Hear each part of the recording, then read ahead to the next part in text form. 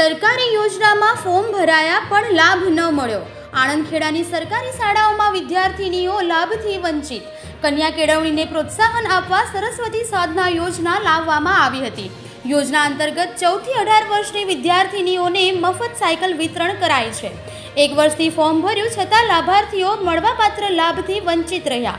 સરકારી ખાતાની સાંકળમાં કઈ ગળી તૂટી છે તે હવે ચર્ચાનો વિષય.